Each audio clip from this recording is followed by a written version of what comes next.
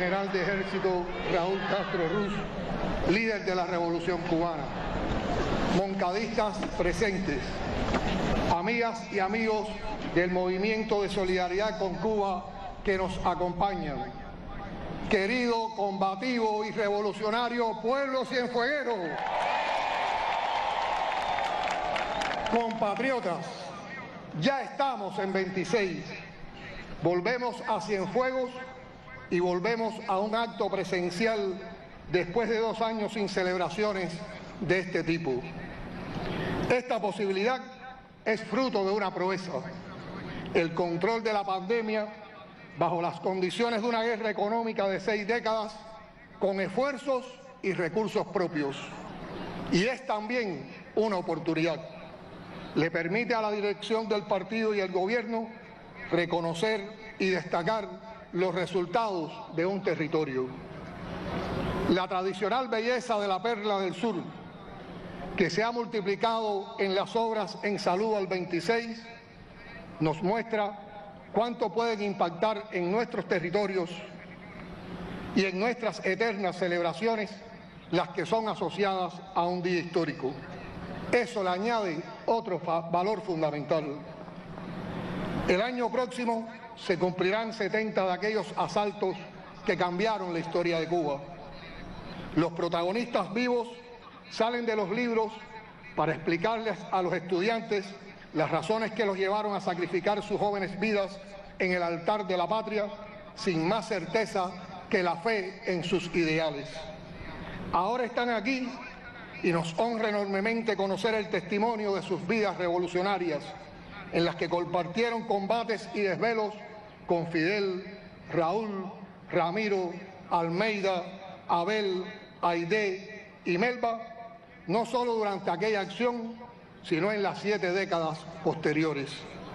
Sus valiosas memorias son parte de nuestro modo de entender y amar a la revolución, con la profunda convicción de que somos parte de ella.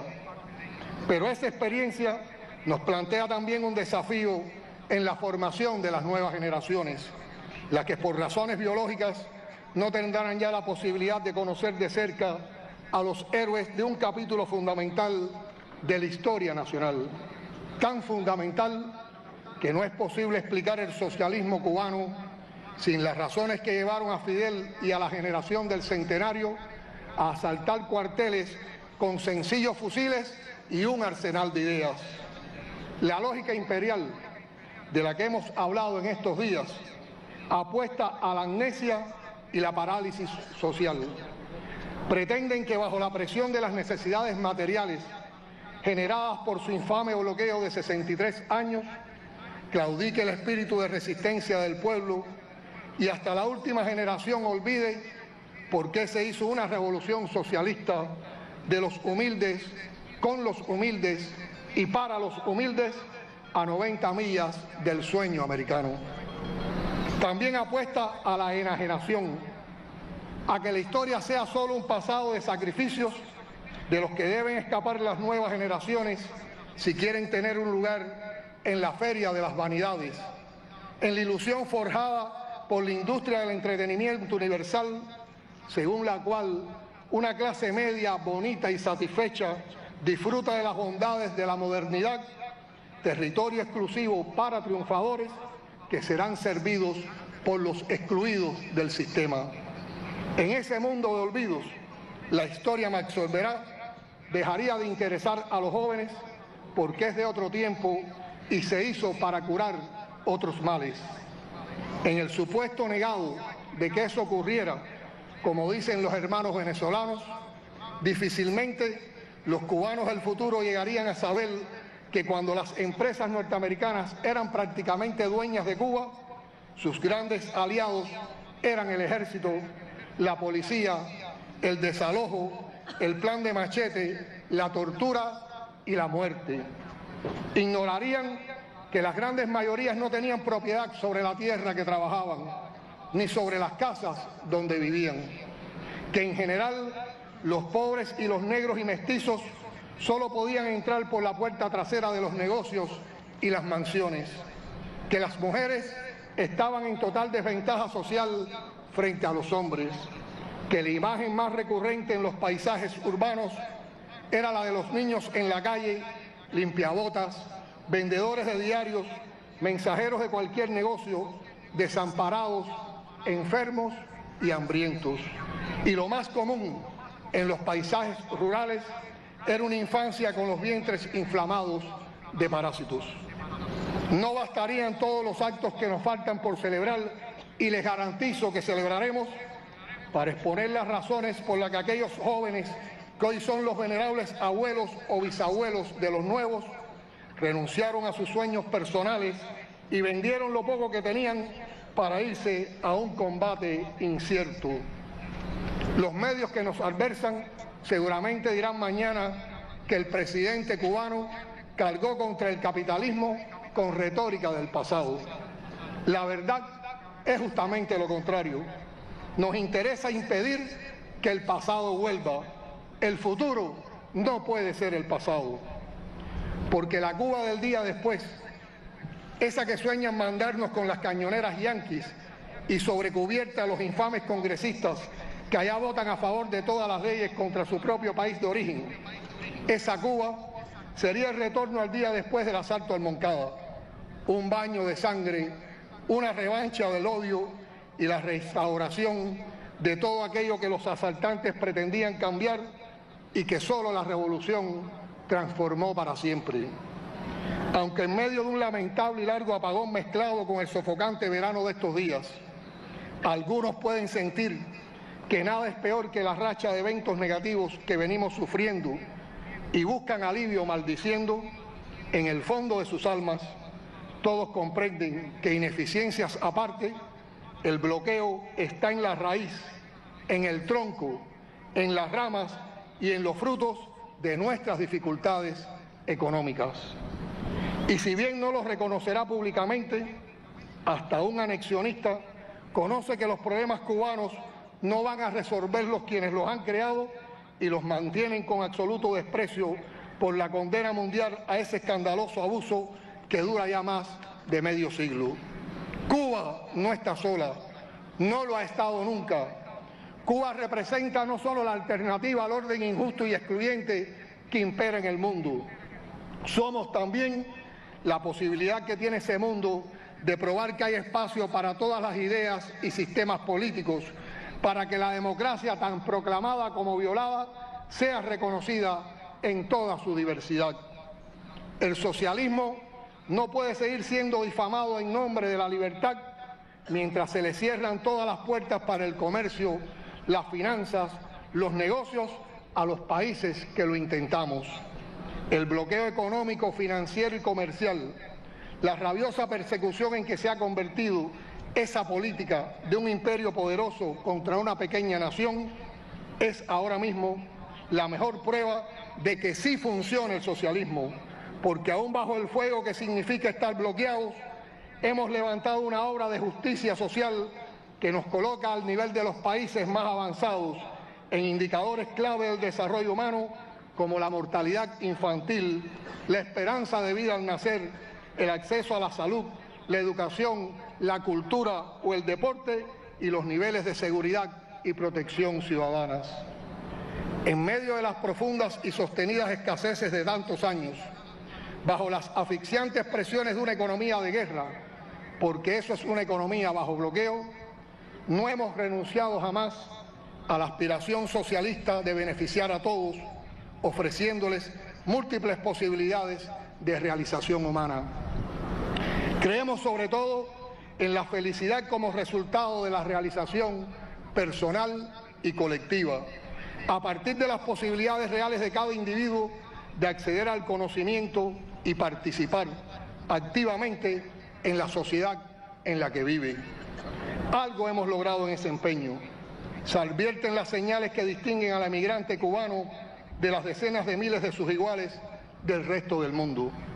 La mayoría de los nuestros tienen estudios por los cuales sus familiares no tuvieron que pagar, incluso estudios especializados de altísimo nivel que en otros países endeudan al graduado para toda la vida. En general, los distingue el conocimiento y la calidad de su formación profesional, tanto como el diferente trato que reciben por razones políticas. Aunque prácticamente nadie hable ya de la ley de ajuste cubano, ese tratamiento diferenciado a nuestros nacionales para que alimenten el discurso antisocialista, declarando una persecución inexistente, es parte del objetivo central de la guerra contra la revolución cubana, aplastar la alternativa, demonizar el socialismo, evitar que otros pueblos se inspiren en esta experiencia. No hay otra explicación para el sostenimiento del bloqueo contra Cuba tan incompatible con los discursos de libertad, democracia y derechos humanos que tanto le gusta dictar a los políticos norteamericanos. Toda la retórica contra el socialismo cubano choca y se niega a sí misma frente a esa innegable verdad. Nuestra conclusión es que el bloqueo se mantiene porque sin él este país sería un modelo de sociedad humana demasiado subversivo para el orden mundial. Y quienes opinen lo contrario desde la acera de enfrente, desde los que imponen y sostienen el bloqueo, contra toda lógica civilizada y humanista, que lo levanten total e incondicionalmente ya. Quítennos el pretexto.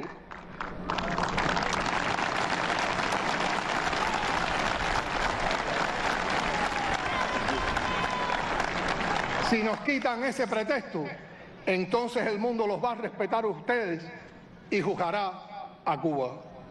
Compatriotas, en el tiempo transcurrido desde la última celebración del 26 de julio, aprobamos una nueva constitución y normas jurídicas que colocan al país a la vanguardia en la garantía de los derechos para todos, como acaba de verificarse en las más recientes sesiones de la Asamblea Nacional al aprobar el monumental Código de las Familias.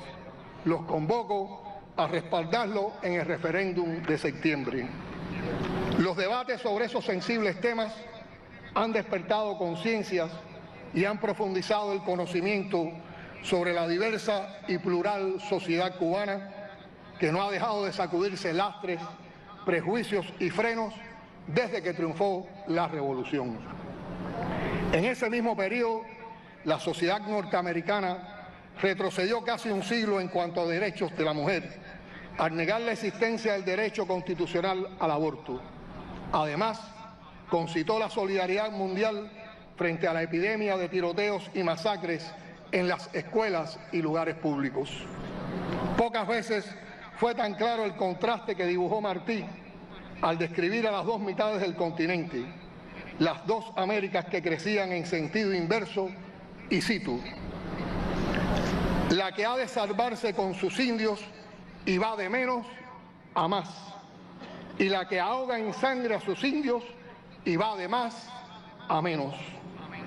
Cuando evaluamos las duras circunstancias por las que hemos transitado en el último año, desde los complejos días de julio de 2021, es justo destacar la solidaridad internacional entre las fuerzas con que ha contado nuestro país como apoyo a su impresionante resistencia.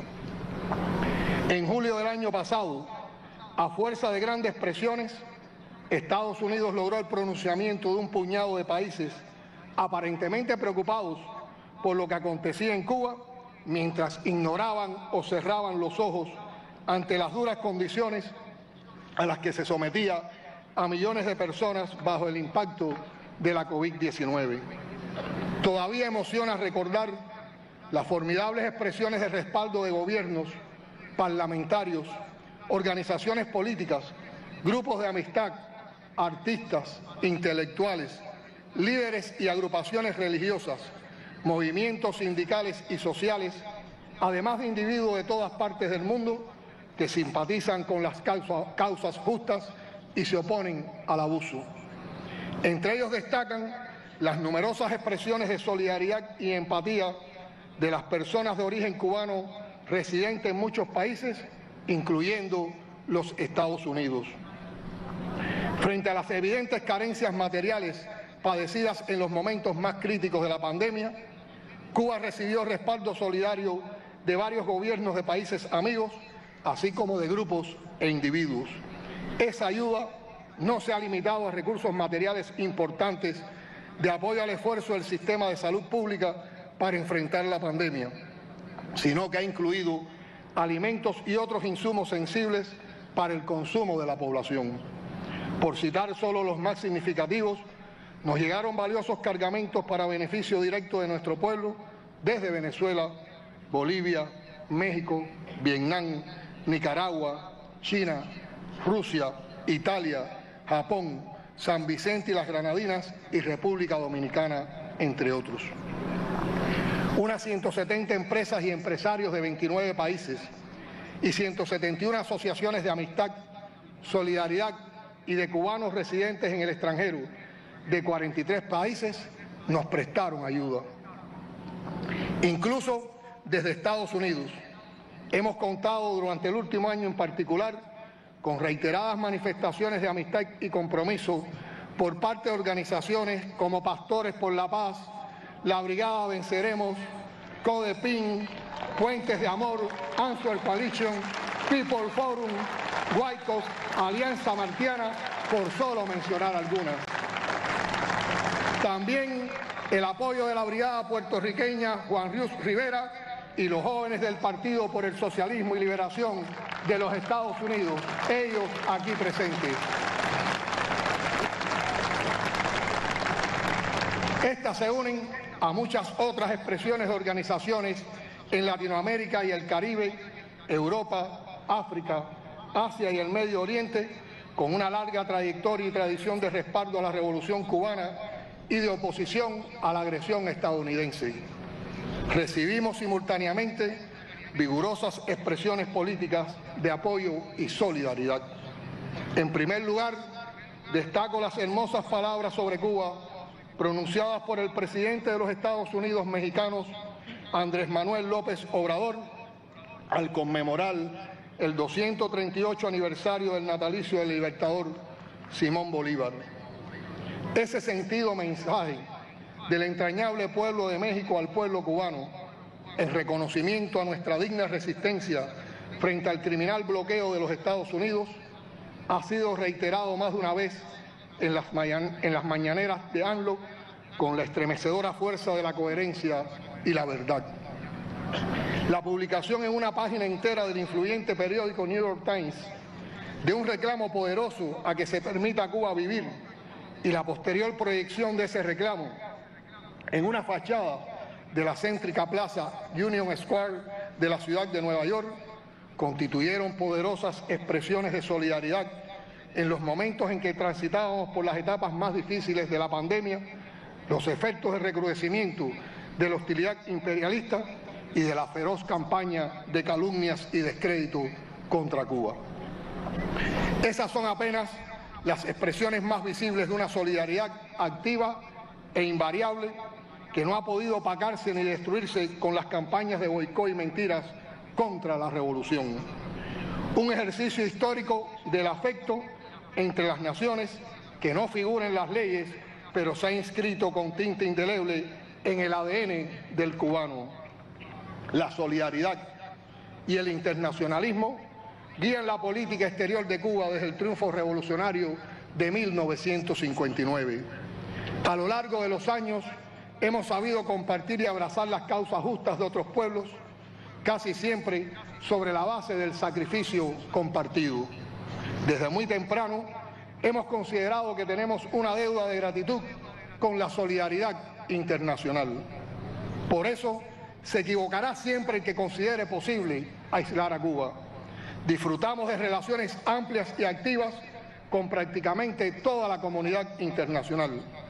Cada año los Estados miembros de las Naciones Unidas votan de manera casi unánime en rechazo del bloqueo económico de los Estados Unidos y nuestro país cuenta con reconocimiento, prestigio y autoridad por su aporte a la cooperación internacional y su activa y constructiva participación en los foros internacionales. Compatriotas, en las recién concluidas sesiones de la Asamblea Nacional se anunciaron medidas que buscan movilizar en el menor tiempo posible abastecimientos y recursos financieros de los que hoy carecemos. En las próximas semanas se informarán los detalles de su implementación. Si queremos tener resultados positivos en menos tiempo, es imprescindible actuar con responsabilidad con seriedad y con disciplina. Muchos amigos y admiradores de nuestro proceso nos preguntan continuamente qué es la revolución hoy. No en el concepto que ya Fidel nos dio, sino en el modo en que se verifica en la práctica. Les corresponderá esa respuesta a los científicos sociales, a los estudiosos de los procesos revolucionarios, quienes sabrán distinguir mejor que nosotros lo que hacemos. Sin embargo, tengo muy claro algunos términos. Democracia y participación popular, humanismo, voluntad de transformación, creatividad, innovación, compromiso, ideales y pasión revolucionaria.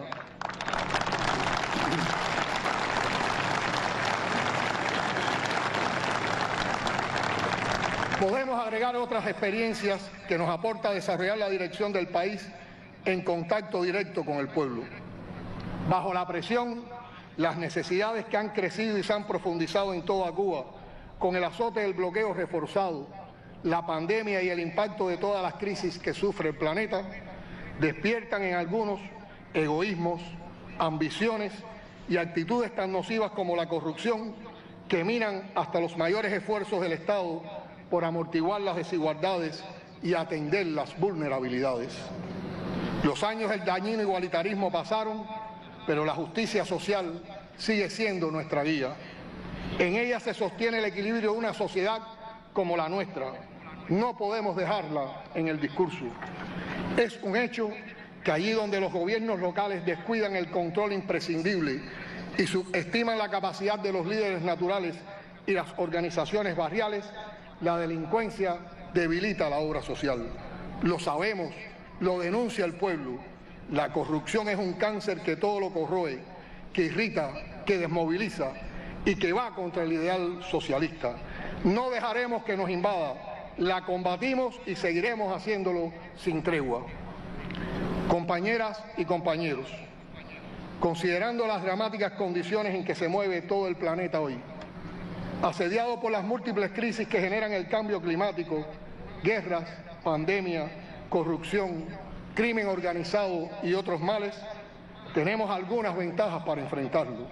La experiencia acumulada en el grado de resistencia creativa, como me gusta llamarle, objetivos y prioridades claros y la unidad, la cara y preciosa unidad conquistada a lo largo de años de lucha, después de muchos reveses y como premio tras sucesivas victorias del ideario martiano y fidelista de la revolución. Al comenzar, al comenzar nuestro acto esta mañana, escuchamos palabras de Fidel en una de las primeras celebraciones del 26 de julio en los años 60 del siglo pasado. Me gustaría reiterarlas ahora como expresión de los enlaces de la historia que implican el enigma de una revolución victoriosa.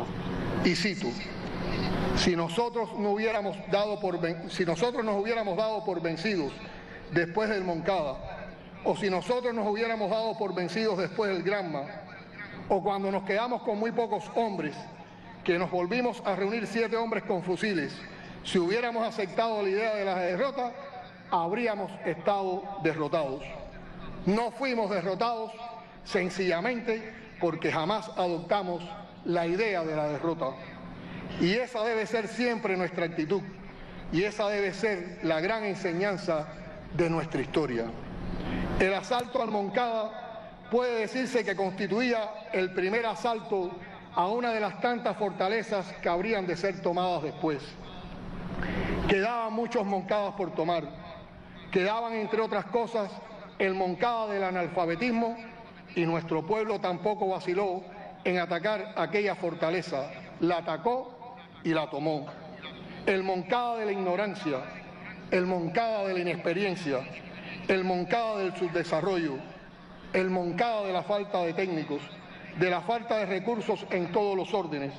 Y nuestro pueblo no ha vacilado en emprender también el asalto de esa fortaleza. Fin de la cita que viene muy bien a los momentos actuales. A nuestra generación le corresponde asaltar las fortalezas de la ineficiencia económica, la burocracia, la insensibilidad, el odio. Sobre sus restos construiremos la prosperidad posible sin dejar de exigir abajo el bloqueo. Vamos a hacer un país mejor nosotros mismos. La historia nos da fuerzas, nos inspira, nos impulsa y nos alienta. Si ellos pudieron, nosotros podremos. Gloria eterna a los mártires y héroes del 26 de julio. Hasta la victoria siempre. Socialismo o muerte. Patria o muerte. Venceremos.